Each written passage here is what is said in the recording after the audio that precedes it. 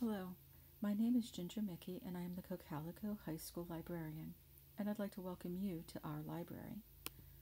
To begin a tour, we're going to enter through the main entrance and come upon the circulation desk.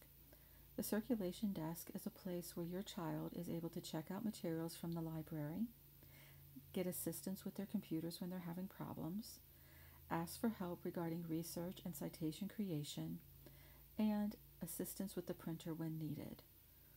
As we continue our tour through the library, you will notice that we have a display of new books. This is where we highlight the titles that have recently arrived to our library. It's a way for students to quickly see what has newly arrived, make a selection, check it out, and have two weeks to read a fun book of their choosing. When students turn around, they're facing what is known as the Flexible Instruction Group Seating Area. This is the main section of our library, and currently we have our desks placed in a way to keep students socially distanced. During the regular school year, students are able to take these, um, this furniture and move it to create the workspace that works best for them. This area is located in the fiction section of our library. That is the books that students consider the fun reading, and this area is often utilized by classes that are coming to the library for research. Students have the ability to use the resources in the library, such as print materials, have access to the librarian for help, and our database collection, which is available online as well. Another area that students often find fun to sit is what is called our relaxed seated area.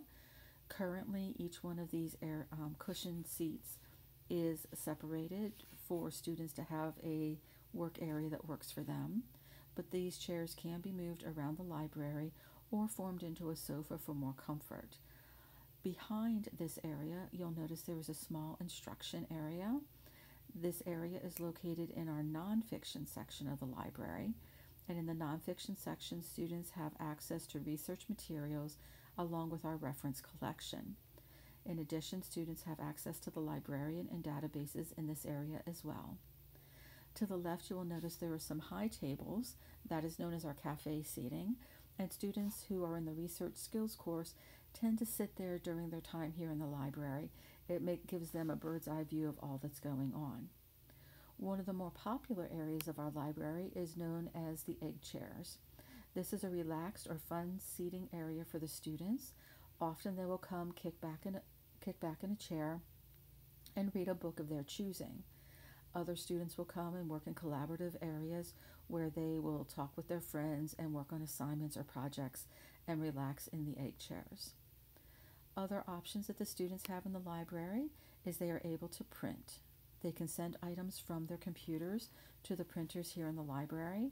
When they have time in their schedule, they're welcome to stop by, access their account, and print off the materials that they need. In addition, we do offer to students the use of what's called a green screening room.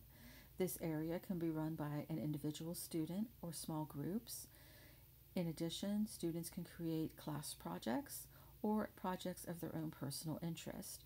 I've seen students create music videos and dramatic readings just for their own fun and enjoyment, and they've also used the space for group projects to complete various assignments for the business department, social studies, um, health, um, a lot of different courses have brought their students to the green screening room.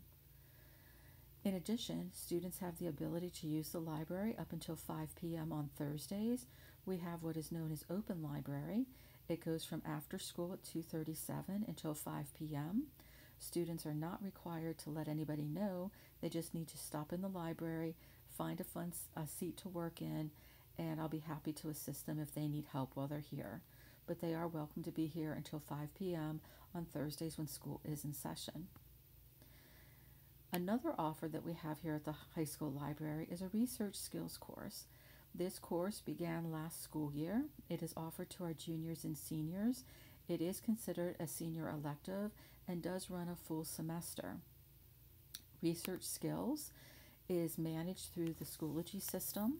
And as you can see, our students complete nine units of work during this class. Currently, we have 13 students. Your child may be one of those 13 students. If not, you may want to encourage them to take the course.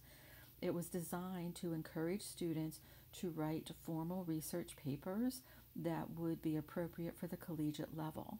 So, as they go through, each unit is designed to build on skills that they've already learned here at the high school and take it a step further so they are well prepared for the university papers they will have to write. They start with research basics, move on to using databases. We do take them out into a few databases that you see at the college level, such as JSTOR and EBSCOhost. These databases can be utilized at the high school but are really seen in colleges. In addition, our students um, are learning how to search the web effectively. While we rarely use Google in formal research papers, there is becoming an increasing need for diverse information. So, in searching the web, students learn how to find reliable information that would be suitable for a college level paper. Unit 4 focuses on information ethics, and in information ethics, we're ensuring that students know how to follow copyright rules, that they know how to cite the documents that they're using, and that they are using information in ways that are following our legal system. Unit 5 takes students into a new level of reading. At the high school level, students are often reading journal articles or magazines or newspapers. In this course, students are exposed to what are called peer reviewed journal articles. A peer reviewed journal article is an article that is written for the collegiate level or professionals within the field that they will study, and it gives students a chance to engage with this work before they will see it when they're in college. We also teach three types of citations the APA or American Psychological Association, which is utilized in all courses here at the high school except for English. In English, they use the MLA citation format or Modern Languages Association.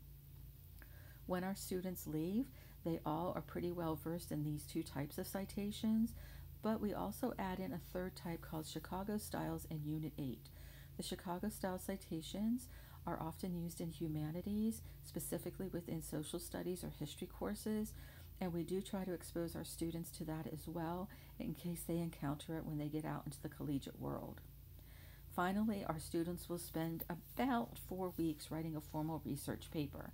They will start with the research process. They will select a topic. Often, students choose a topic related to a course that they're currently taking so that they get the added support.